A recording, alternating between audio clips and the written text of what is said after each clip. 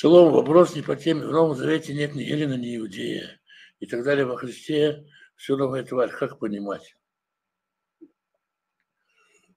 А, ну, во-первых, как бы там ни Елена, ни Иудея, ни мужского пола, ни женского. Это же не значит, что если я захочу жениться, то могу жениться на мальчике, на девочке.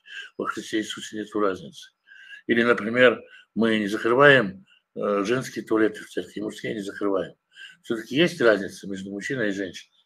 Более того, есть какие-то повеления, которые даны женам отдельно, мужьям отдельно, женщинам отдельно, мужчинам отдельно и так далее есть. Но э, о чем идет, о чем здесь идет речь?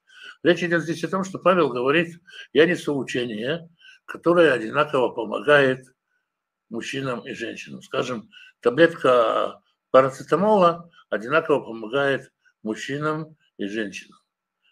И она, для нее не важно, каков у человека пол.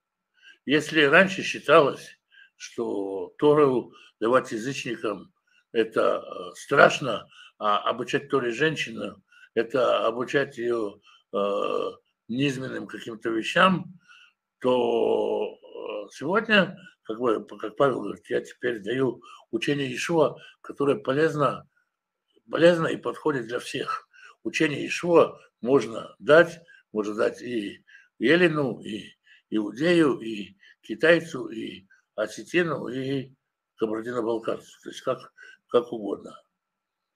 Вот это не значит, что, э, что как бы э, перестал быть пол у человека или перестали быть какие-то национальные особенности.